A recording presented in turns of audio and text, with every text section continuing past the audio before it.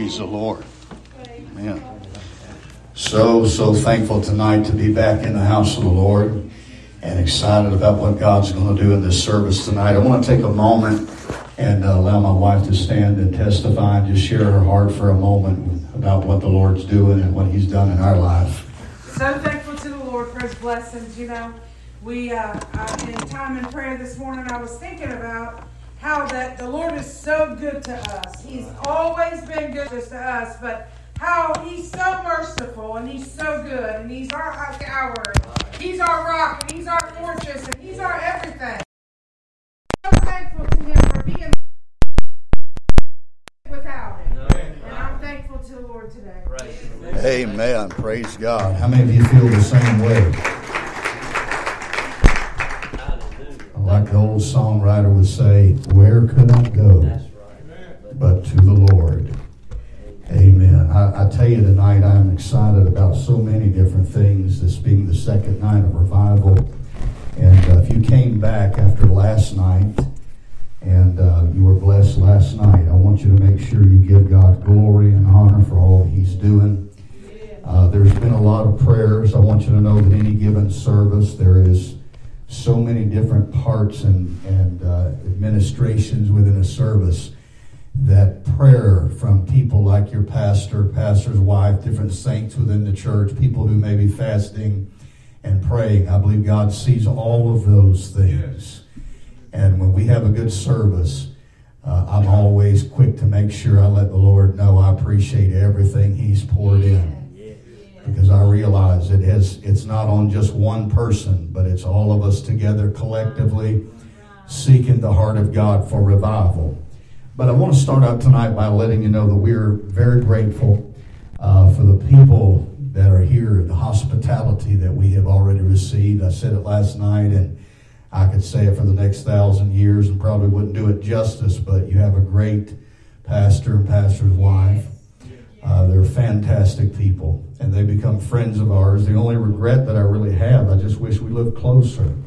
I really do, uh, because we would fellowship a lot more. And uh, this little piece of time that we're able to get up here for a few days, if it was up to me and we had the ability, and we're a little closer and things were different, uh, we would love to be able to do, you know, a whole week of revival so uh, anytime that I come up like this, I feel kind of like I've got to put 10 pounds of sugar in, a, in about a five pound bag. Uh, but with the Lord's help, I know God knows the need of the church. And so I have sought the Lord, and, uh, and I appreciate everything that went on last night. I was encouraged by the altar response last night. It, it, I would say, if I had to estimate, it was probably about what, 95% of the people that were here in service last night were in the altar, and many of them for, for a long time. Uh, I hated to slip out last night. Every once in a while, this happens. I don't know if anyone's ever had it. It's called an ocular headache. And uh, my vision in one of my eyes, I'll get these rainbow looking things, and my vision will go black in one of my eyes. And I want to try to get and lay down for a little bit before I couldn't see good. Uh, but thankfully, it usually goes away after a little bit of time. So I apologize that I had to slip out but I just want you to know it just greatly encouraged me to see so many people uh, earnestly. I'm, I'm not just talking about just going to the altar to do their due diligence and service or whatever. You know, I got a position in the church. I don't want anybody to think I'm backslid. I could tell by the way people were praying in the altar last night. There were a lot of sincere people. And that encourages me because it makes me feel like the journey, the sacrifices, and everything that you put in it makes it worth it, you know, to come all the way up here from the swamps of Florida. Uh, but one of the things that I have begun to see uh, over the last day or so as the Lord began to shift my burden for the service tonight, I started thinking about how that many times in revival that uh, God would put a, uh, I guess you would call it a theme, where that one night the, the message was not the same, but very similar and throughout the whole revival. Sometimes youth camps will have a common theme. Uh, but in this revival, for whatever reason, I just, you know, I'm, I'm more concerned about following the leading of the Lord. And some of you preachers, when I say this, you're going to know exactly what I'm talking about. But sometimes God just gives you one of those messages. And um, God poured it in my spirit and showed me there would be a shift tonight. And so I'm asking you to be prayerful tonight for me and for the people that are in need. When Sister Tracy began to sing, and uh, before she sang, and she began to testify about what God had, I guess, give her to sing tonight, she had made the statement about people listening to the wrong voice. And when she said that, the hair on the back of my head, the neck just stood up because I just felt like it was like a confirmation in many ways. And uh, you can you can be guilty of listening to the wrong voice. She sang about needing answers, and possibly there are people tonight that need answers. But I'm going to follow the leading of the Lord with the Lord's help tonight. Would you help me to do that? Uh, I don't know that we might run the backs of the pews. We may not shout. We may just bawl our eyes out. I don't know what we'll do tonight. Uh, but I've got to follow the leading of the Lord. If it's not but just one person, or two, or three, or, or a whole bunch of people, I've got to obey God. And I pray that you will help me to do that tonight. Genesis chapter number 13, we're going to begin reading with verse number 7. And if you'll stand to your feet tonight, Genesis chapter number 7. Genesis chapter number 7 tonight. We're going to look there and see what God has to say to us. Genesis chapter 7.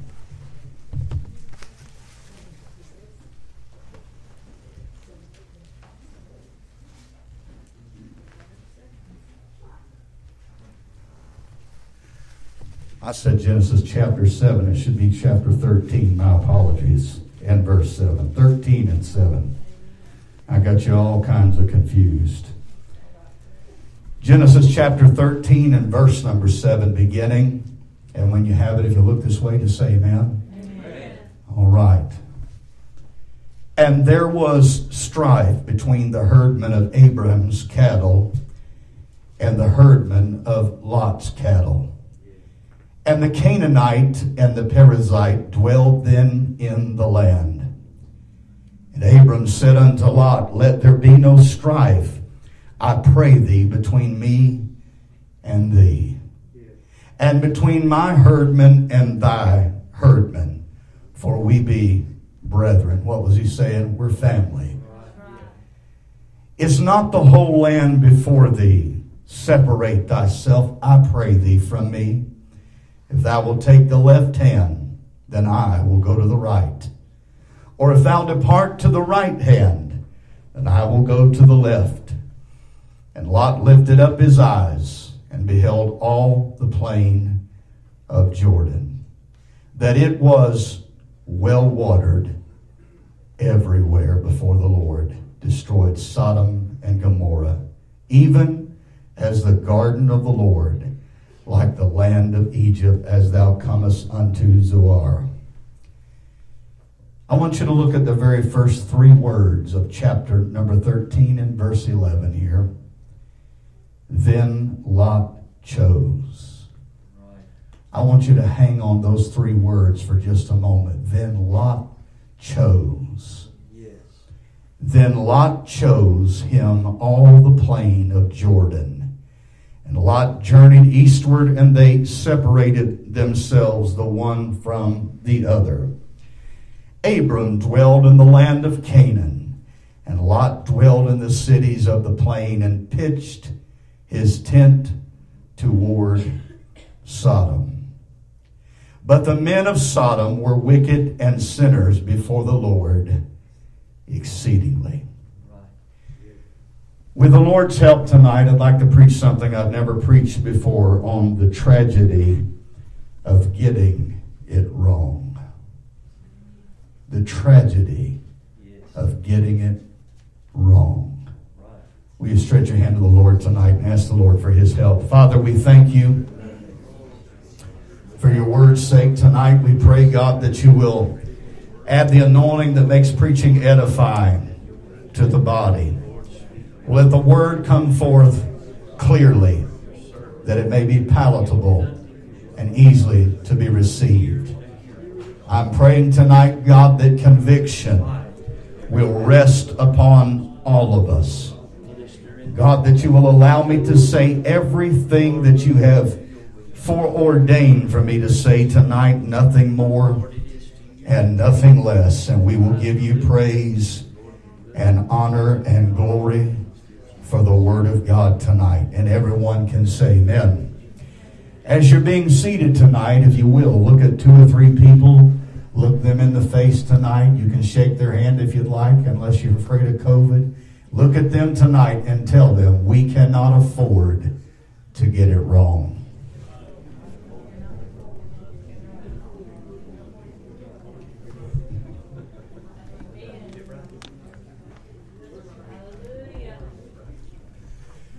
As we look at this very familiar story that many of us that have been around the church have heard numerous times, this story of Abraham and his nephew Lot.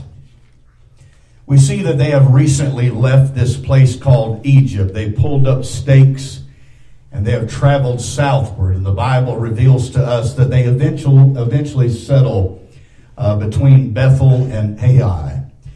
And after some time of being in this place where they have begun to settle into, there arises a conflict of interest between the two families who are as one dwelling together.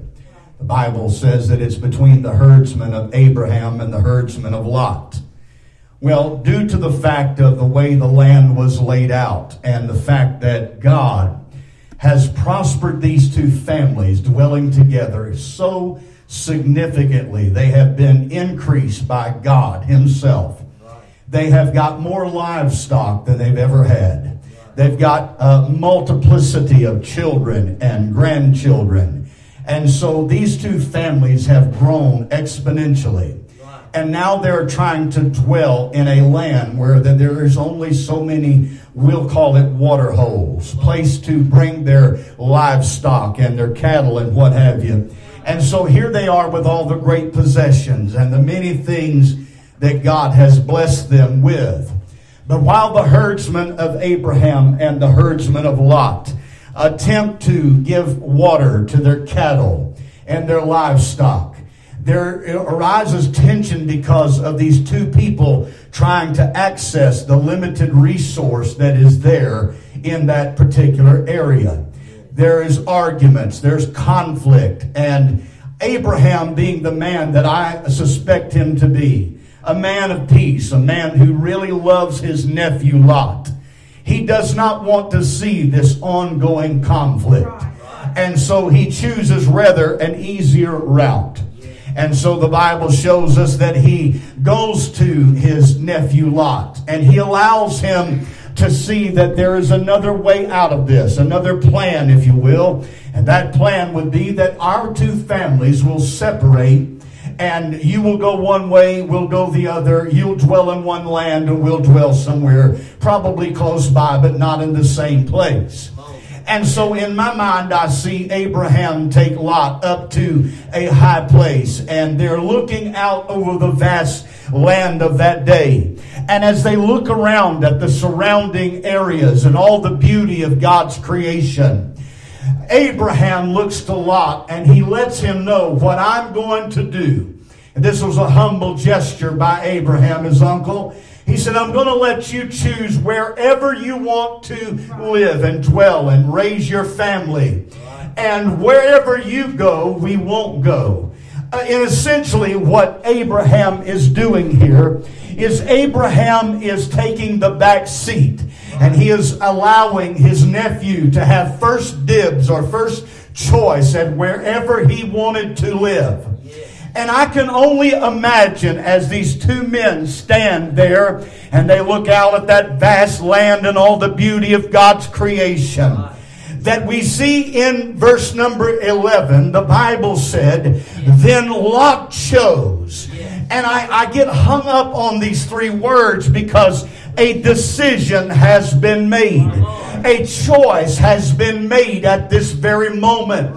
I was not there. The text does not reveal to us that this decision was made in a matter of seconds or minutes. I don't really know exactly what happened of the details, but what I do know is that when Lot is presented with the opportunity to live anywhere that he wants to live, he looks out and he looks at the appearance that the eye sees, everything that is before him. And he looks in one place and he sees what the Bible tells us are the well watered plains of Jordan. There is a lot of beauty there, there's a lot of resource there. And it only makes sense to us tonight that Lot, through the appearance of fleshly eyes, would would go to this place or pick this place. I mean, after all, one of the problems that they are having between their two nations or two uh, families, if you will, is the fact that there is a limited supply to feed and uh, to take care of their livestock. I mean, maybe in the mind of uh, Lot, he's thinking like a businessman. Well, my family's already grown to this place and livestock are reproducing well and uh, we're going to need a lot of water in years go by to go by, and so we're going to make sure that we're taken care of. As a matter of fact, some Bible scholars would even say or suggest that they felt as though that the decision that Lot, the nephew, made in this situation almost comes off as a slight bit selfish. I don't really know, but I just know that he has chose to live in this place of the well-watered amen, of the, this place of Jordan. So they journey east, the Bible says, and they separate themselves from one another. And by careful study, you would discover tonight that the reasons that he would most likely choose this place is because of the vast resource of that day. It would stand head and shoulders above the, the uh, ability and resource of many of the uh, lands that surround that place. And so he has picked this out because of its appearance. As he views it with fleshly eyes, it looks like, somebody say it looks like, it looks like the best thing going. It looks like the place that he ought to go. It looks like everything that he's ever wanted or ever needed. It looks like everything his family might need. But the Bible goes on to tell us that this region that Lot is moving beside, somebody say beside. Because what I want you to understand, people don't always get this. He did not immediately go right into Sodom and Gomorrah. He moves beside this place, and the Bible shows us that what God has said about this particular place he's moving beside, that it is plagued by wickedness, sinners who before the Lord, that the Bible says. But in Lot's estimation, and in Lot's viewpoint, and Lot's vantage, it looks like the right place to go. Even though God knows, I don't know, it doesn't seem to me that he got the mind of God, does it to you? It seems to, to me that by all appearance, that he went solely by what it looked like. Come on, somebody, help me tonight because the truth is you can go by what it looks like and make the biggest mistake of your entire life.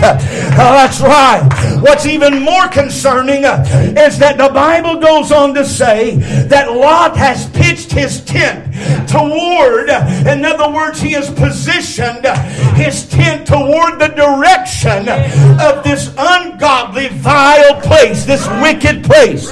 He has pitched his tent toward that place. Well, if that's not enough for you to, to understand how bad of a decision that it is, it is becoming, uh, in chapter number 13 and verse 12, uh, the Bible shows us that he pitched his tent towards Sodom. Just one chapter later, in chapter number 14 and verse 12, we see that he has now moved into Sodom. It only took a little while, it seems, by the reading of the text. One, one step in the wrong direction often leads to another step in the wrong direction. And it looks good, it feels good, but it is not good. Say amen, somebody. Oh, but I'm still preaching tonight to the church on the tragedies ways of getting it wrong. And this is one of the most tragic stories recorded in Old Testament Bible history. Once in Sodom, we see that, that Lot's family is drawn more and more into the customs and the culture and the way of doing things in Sodom. It becomes more of who they are. And if I can be honest tonight, Sister Tracy made a statement tonight singing. She said, This really is not my style. This may not be my vibe, if you will, uh, but I like the words, and the words are great, and I love the song. And, uh, and the truth is, uh, I like a lot of the same music that Sister Tracy does. I, I just kind of, that's my era, my generation. I also like black gospel. I like a lot of different things, but the area that we live in, years and years ago, they did away with all Southern gospel. There is no radio station. So the only thing we have in our area is a radio station uh, called Z88.3. And a lot of what they play, the only thing we have to listen to is a lot of the contemporary gospel uh, kind of music, if we will. And some of it is not really that bad. Some of it is doctrinally false, and there's just a lot that I don't agree with. But what happens is, and I'm trying to show you, is that the more that we've lived there with no other real options uh, but to listen to that on the radio, it becomes more a style that you inhabit and you accept, uh, and you begin it begins to grow on you. Come on, somebody, and it, it's not a big deal anymore. And so you you vibe to the beat, and the beat sounds well, but you're not paying attention to the lyrics, uh, who are, are, absolutely many of them are false doctrinal uh, things laced in the message of the song. And so I'm just trying to tell you, you have got to be very careful that when you put yourself in a place and in an environment that you don't become a part of the environment and the environment become part of you. Say amen. But but the, the, but the claws of Sodom and Gomorrah are gradually sinking themselves down into this family. They are beginning to be affected by everything going on. Now, this is not a part of my message per se, but I will tell you this is one of the reasons that I don't take uh, picking out where I'm going to be a church member as some haphazard thing.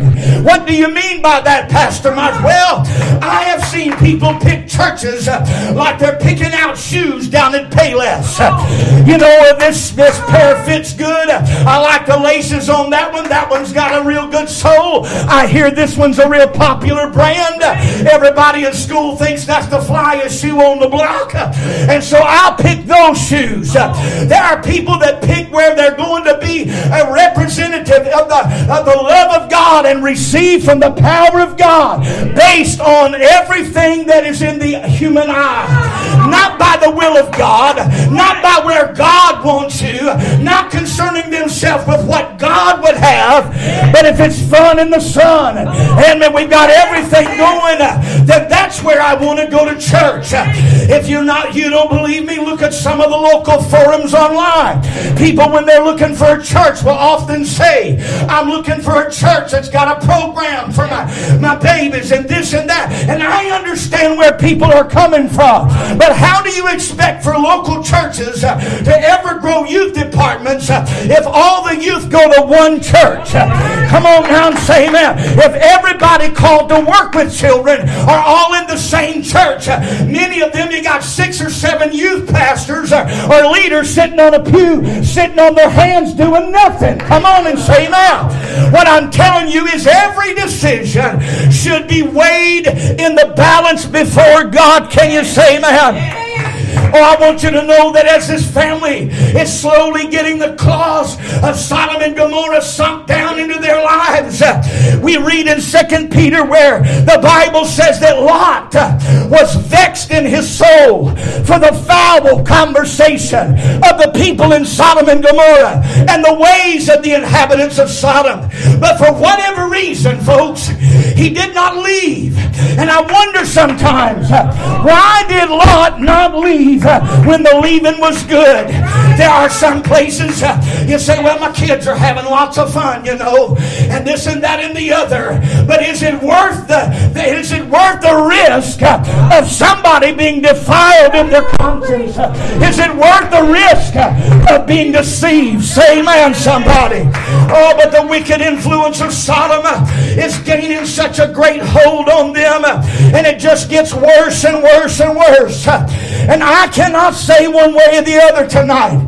I don't know if this is absolute truth, but as I began to study about Sodom and Gomorrah, the family of Lot, there are several different historical accounts that say that Lot had a third daughter. Again, I don't know if it's true or not. I'll just qualify that. But these resources say that Lot had a third daughter. And while they were living in Sodom, that she was burned to death by the people of Sodom for breaking their law to give charitable gifts to foreigners.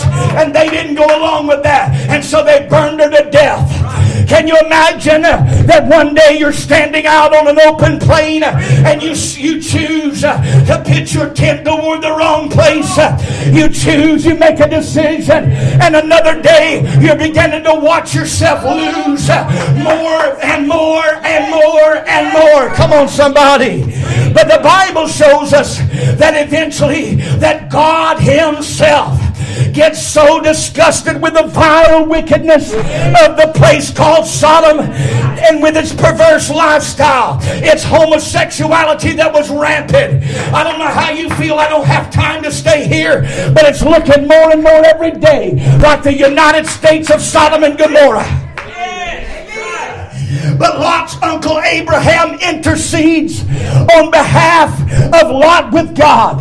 And the Bible shows us uh, that through that intercession that God has chose that he will spare as Abraham has pleaded with him. So God sends two angelic men to lead Lot and his family out of Sodom. If you think it's bad, hang on, it gets worse. When the angelic men show up in the city to bring Lot and his family out, these angelic men are in the house and they're hosted by Lot. A mob of homosexual men gather on the outside of the house and begin to demand that he sends them out so that they can have homosexual relation with the angelic men. Lot decides to make a very strange decision. Here he is in Sodom and Gomorrah, and things just keep getting worse and worse. Lot steps out the door, Brother Waters, and shuts it behind him. And he has communication with the mob, and he says, Listen, I've got some young daughters, uh, and they have never been with a man. And I will allow you to be, you understand? And uh, that if you'll just leave these men alone, uh, and that's what happens. Somebody say, God forbid.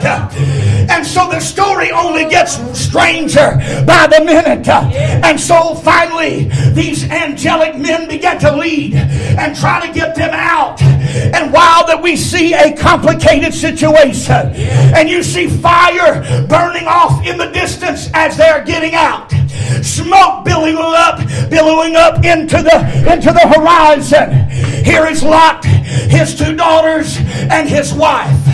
His wife has got Sodom has got such a hold on her heart that while she is on the way out, you've heard it said probably before, but her feet are pointed in the right direction, but her heart is still in the wrong place. And the Bible said she looked back and was turned to a pillar of salt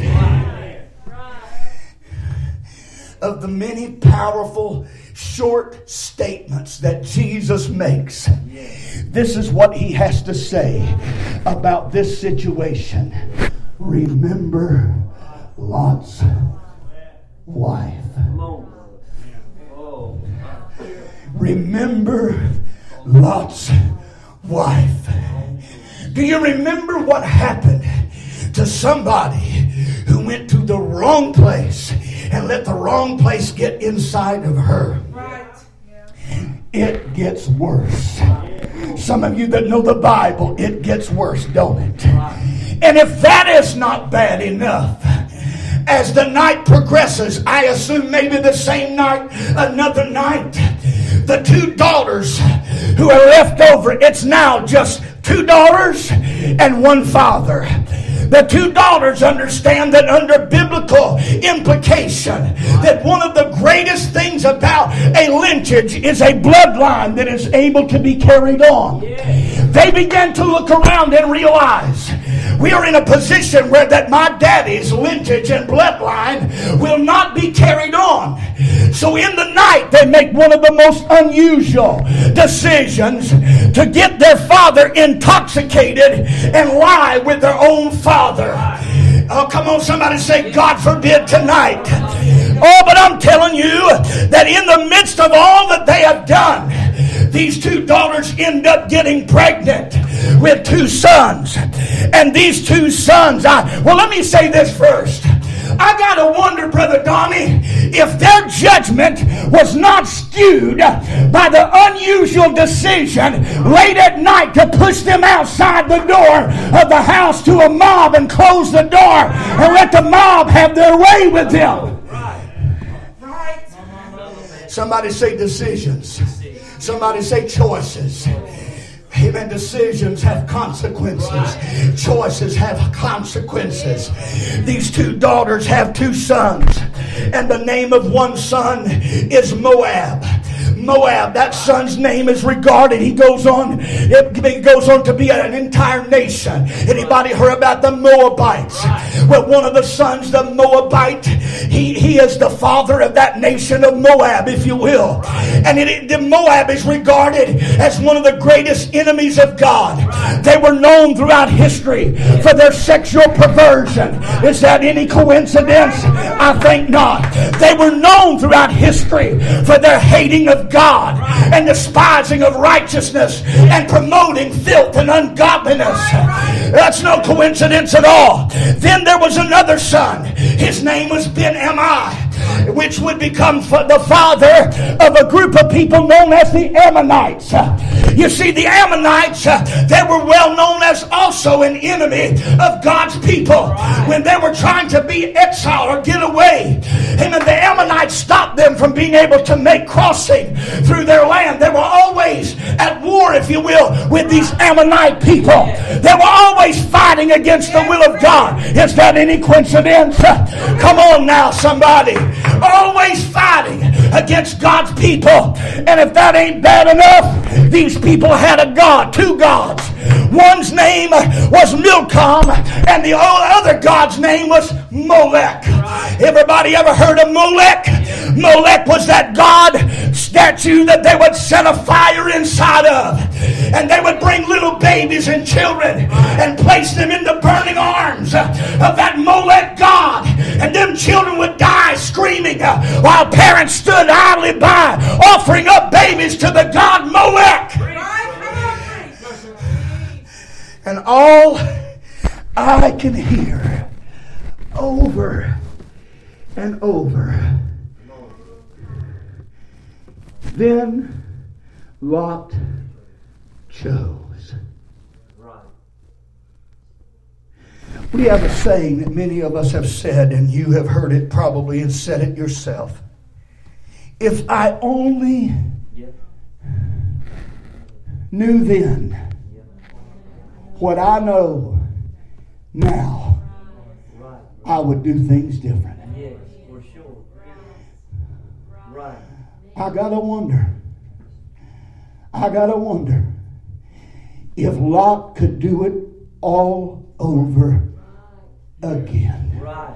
Right. I wonder if he'd say, you know what?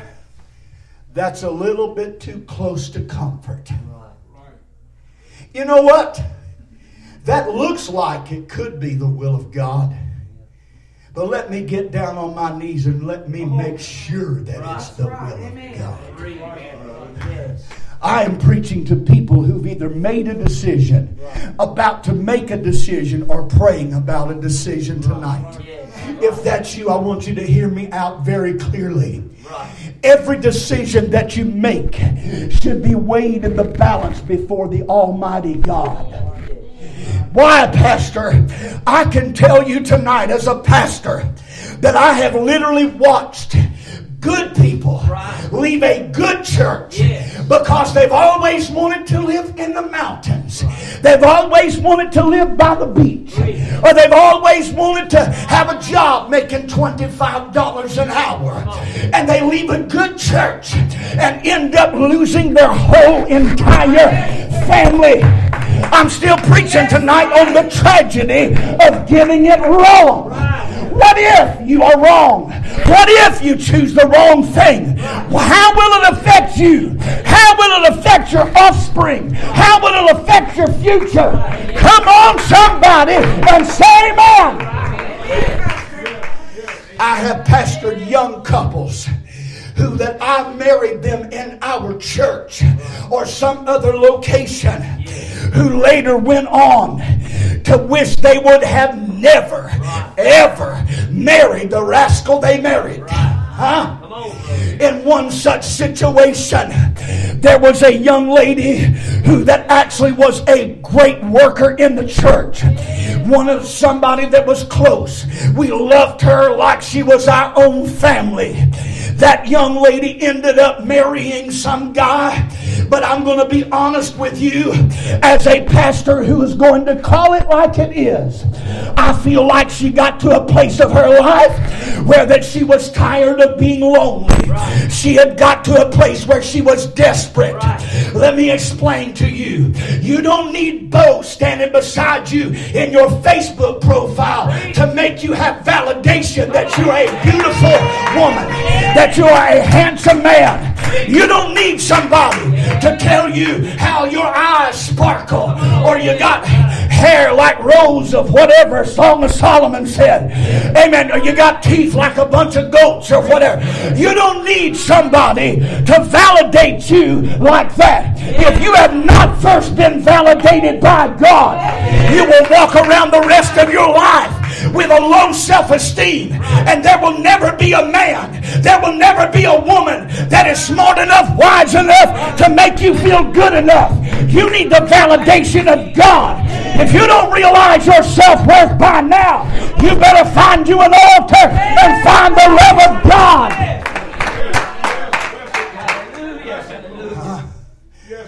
I have seen it. And in this particular instance, the marriage fell apart sometime after. She concealed it for some time.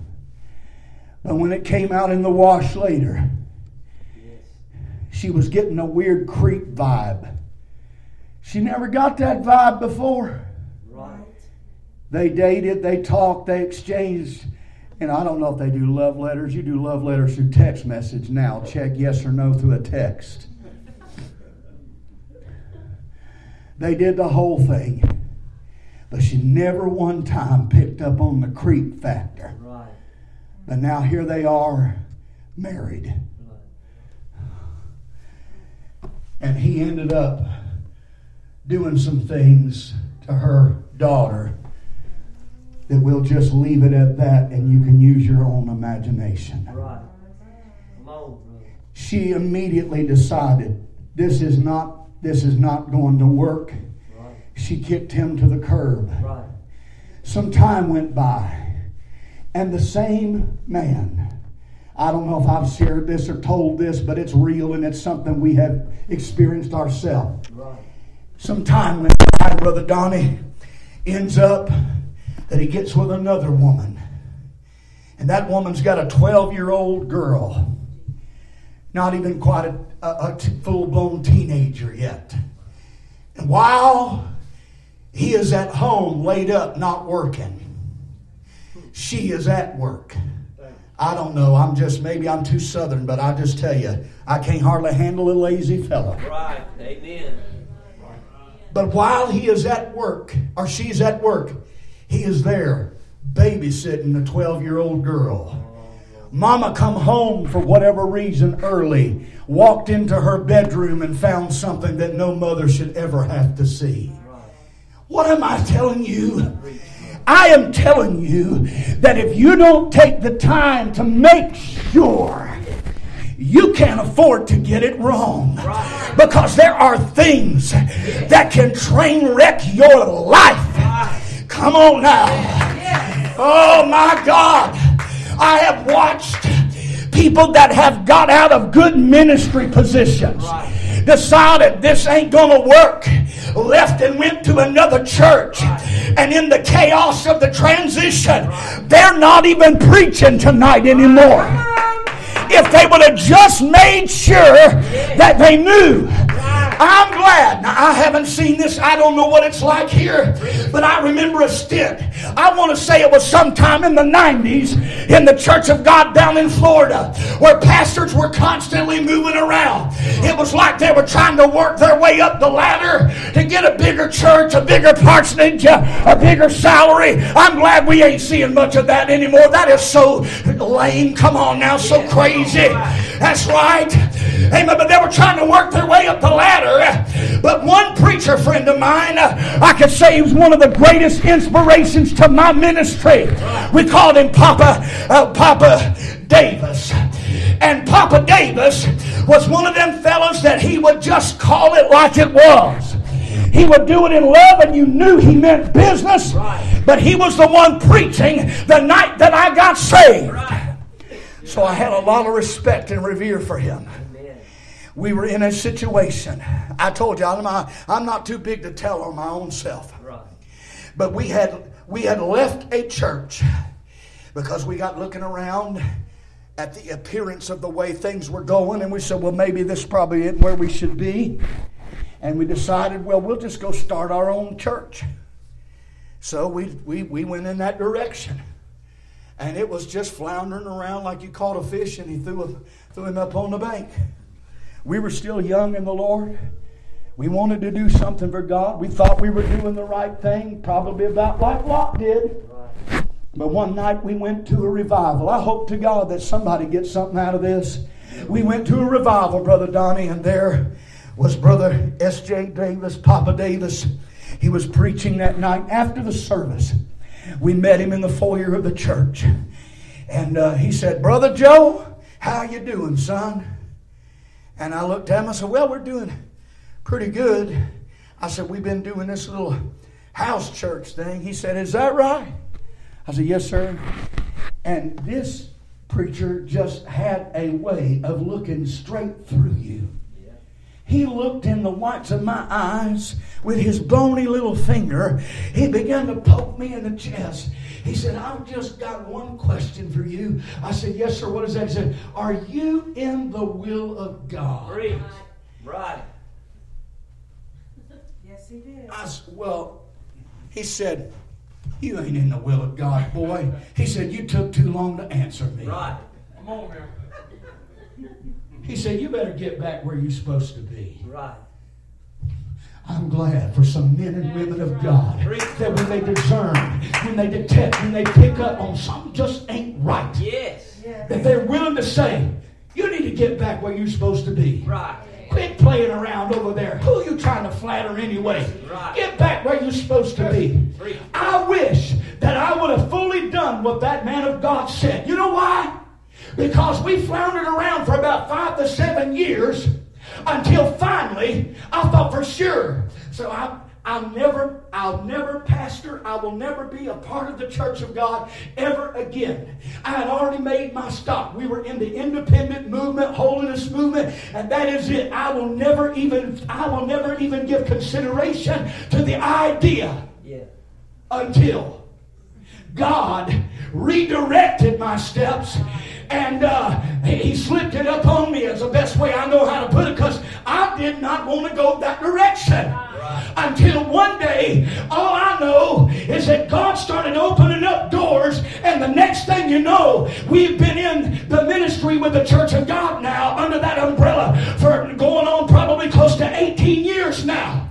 But I told you all of that to tell you if I would have just listened to that man of God, how many years that I through the mud and not being in the perfect will of God. S.J. Davis, don't you love older folks' wisdom? S.J. Davis said, Son, let me tell you a story. He said, and maybe this will help you. He said, I was young in the Lord, preaching, pastoring a church. He said, in that church we were pastoring, he said, all of a sudden, he said it exploded with growth. He said we were bussing in several bus loads of kids, one after another, every week. He said it was going, he said we were breaking Sunday school attendance records. He said the church was on fire. He said you couldn't hardly quote a text without everybody shouting and praising God and people being, being healed and such as that. He said, and right in the very climax of all of that, he said, one night, he said, I went down to a place of prayer beside my bed. And he said, I began to pray because he said, I've always believed that a pastor should never take it for granted that he is just in the will of God. He should always make sure that he is still in the will of God. He said, I got down by that bedside, and Brother Donnie, he said, I began to pray. God, I want to make sure that I am in the center of your will. You know what that told me about S.J. Davis? He was not after money. He was not after numbers. He was, come on, he wasn't after position. He was willing to go where God sent him and do what God said. Brother Waters uh, uh, emphasized that tonight because the reality is it's all going to burn up anyway. All this stuff on the earth. What's most important is doing the eternal will and desire of God in heaven. But he said, I was down there and I was praying. And he said, I, I casually said out loud, God, if you want me to leave this church and go anywhere else, just let the phone ring and somebody call me and, uh, and, and I will know something, you know, you want me to do something different. He said, Brother Joe, he said, I didn't sooner get off the floor. And he said, the phone rang. And he said, you, he said, I tell people all the time, you can say what you want to. He said, but I believe that night the devil heard it and the devil tried to get me tripped up. He said, because when I answered that phone, it was the state office who never called me. He said, the state office said, SJ, we believe you got what it takes. We got this church over here, and they ain't running very much, and they need a good pastor. And they buttered it up real good, you know, like a salesman. And he said, he didn't even really stop and think about it much. He just kind of took it for granted. He said, I'll go. He said, Brother Joe, I will never forget the day that we pulled out of that parking lot with that station wagon wagon loaded down with our kids and about everything we could fit in it. He said there were he said the parking lot was slab full. He said there were two rows and lines of people on both sides of the car crying and squalling their eyes out. Please reconsider. We want you to stay, Brother Davis. But he went on and pulled out of the parking lot. He said it was the biggest mistake of my entire ministry. He said when I got where I was going. He said that church had a Jezebel spirit and liked to eat us up. He said they went into the parsonage and took all the groceries out of the refrigerator and tried to starve them out. Quit paying their tithes and offering and tried to starve them out. He said it was the biggest mess I have ever been in in my life. He said if I have learned anything and if I can tell you anything, boy, he said you better get know that you know that you know it is the will of God. What am I saying? You can't afford to get it wrong because there's a tragedy in getting it wrong. You know what I tell young people? When, when young people are talking about getting in a relationship, I'll quickly tell them, you'd be better off to be without one right, yeah. than stuck with the wrong one. Amen. You better pray. You better get the mind of God. Right. If you're here tonight, you say, Pastor, I've got some big decisions ahead of me. Yes. I've been praying about a job change. I've been praying about a church change. I've been praying about a ministry change, and I have not shared this with anybody, Brother Myers. But we've been praying about some decisions. And we've got our eye on something. We've got our eye on someone. But I am here tonight with a message during this revival. If I'm not preaching but to one person, I'm obeying God. Because you better know that you know. Because if you're not mindful, you might end up with tragedy like Lot's family. I would to God that I could go back and that I could sit down and have a conversation with Lot and say, Lot, you're going to lose so much, brother. You're going to lose that wife of yours. You're going to lose your, your family. You're going to end up with sons, grandsons. I don't even know what you call that. Amen. You're going to end up with sons uh, that are going, they're going to go on to be enemies of God. Whole nations are going to be born out of your loins. One decision after another decision after another. You just keep going down, down.